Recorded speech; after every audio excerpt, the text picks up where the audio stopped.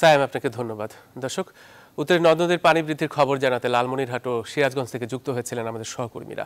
চলে যাচ্ছে পরের সংবাদে। নদী খনন আর বাঁধ সংস্কার না হওয়ায় দিনাজপুরের নির্মাঞ্চলের মানুষ পানিবন্দী হয়ে পড়েছেন।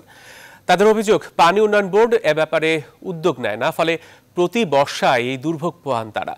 চলতি বছর বর্ষার শুরুতেই অব্যাহত বৃষ্টি আর উজানের ঢলে নদীর পানি বৃদ্ধির প্রভাব দিনাজপুরেও পড়তে শুরু করেছে।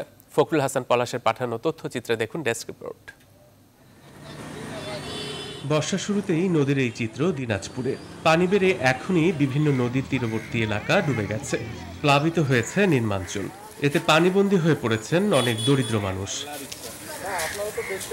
জেলার পুনর্ভাবা আত্রাই ইছামতি সহ প্রায় সব নদীর পানি কিছুটা বেড়েছে।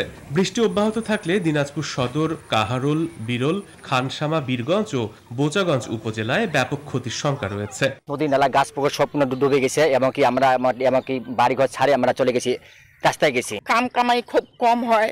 তারপর খাওয়া দাওয়ারও কষ্ট লোকজনগুলা খাইলো কি খাইলো না কীভাবে আছে নাই? হ্যাঁ কোনো খোঁজ খবর নিতে আসে না। নদী তীরের বিভিন্ন এলাকা থেকে সরে গিয়ে বাঁধে আশ্রয় নিয়েছেন মানুষ। স্থানীয়রা বলছেন দুহাজার সতেরো সালে নদীর তীর রক্ষা বাঁধের ভেঙে যাওয়া অংশ মেরামত হলেও ক্ষতিগ্রস্ত বিভিন্ন স্থান এখনও রয়ে গেছে আগের মতো। এছাড়া নদী খনন না হওয়ায় পানি ঢুকছে লোকালয়ে। নির্মাণ কাজগুলো যদি সঠিকভাবে করা হয় নদীর এলাকার মানুষ ভালোভাবে বেঁচে থাকতে পারে। কাজকর্মগুলো ঠিক মতো করা হচ্ছে না। পানি উন্নয়নের বোর্ডে কোনো লোক একবারও আসে না দেখতে।